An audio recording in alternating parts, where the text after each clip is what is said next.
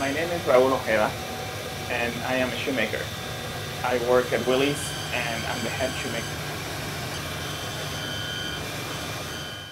When I was 18 years old, a friend taught me shoe shining, and he also lent me money to start my to start my shoe shine stand. He you know tapped me in the back and pretty much sent me in the world to be an entrepreneur.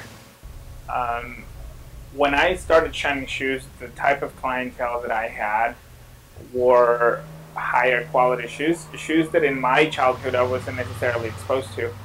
So, talking to them about the shoes and finding out brands and this and that, eventually I started to bring work from our shoe shining business to a shoe repair shop. We used to have less shoes, and we were taught that you better take care of your shoes because this is all you're going to get. Like kids that go to school, like you only have one pair of shoes for school, so if you did not take care of them, they wouldn't be in good shape. And I think that that over time has just been abolished by having more options, cheaper options to, to buy shoes. I know people today in my life who are parents who would buy shoes for $10 for their kids and they have 30 pair of shoes. And they're not well kept. They're not really good. And they just spend $300, $400 shoe, in shoes that are just not also good, but we, we tend to have more now and care for it less.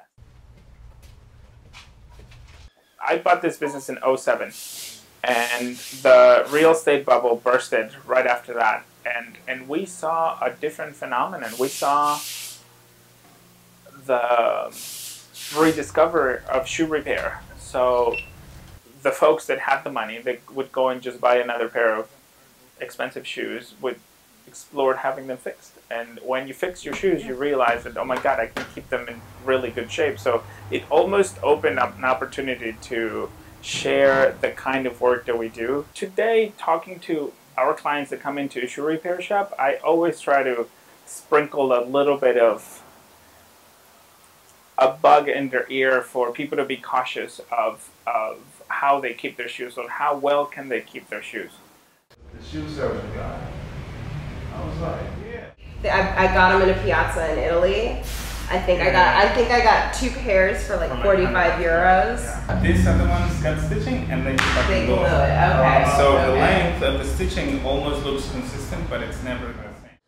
As I've gotten older, I've gotten more away from fast fashion and into spending money on quality pieces. So spending, you know, a couple hundred dollars on a pair of boots, knowing that once the season's over, I can bring him here. He'll polish them, he'll fix them, he'll, you know, touch up the soles, whatever needs to be happen, and I'll get another good season out of them. Um, the riding boots, the coach boots that I bought and he fixed for me, I think I probably had those for like 10 years. That I'm gonna put on Okay. and glue the rubber instead of the leather.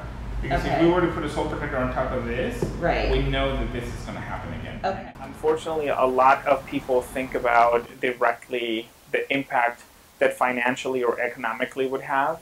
So if you bought a pair of shoes for hundred dollars and they were out and to fix them will cost you more than double that, a lot of people tend not to get them fixed. But in reality, if you don't get them fixed, then you're just wasting a tremendous mm, amount of shoe, you know, because that shoe could live well until it has holes.